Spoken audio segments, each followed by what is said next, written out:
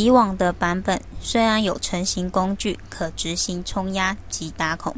但在二零一二版本针对此功能有做了更便捷的改善。可以目看到目前的画面是直接进入到成型工具的属性管理，并且多了选项，例如旋转角度、冲压工具的方向，比过往的版本更加的容易来设定及去做修改的动作。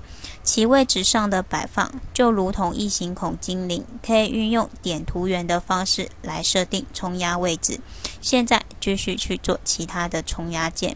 可看到，二零一二的版本可将冲压键设定为主态，不再需要针对每个成型工具做独立的档案管理，只需用下拉式的方式即可将主态做切换。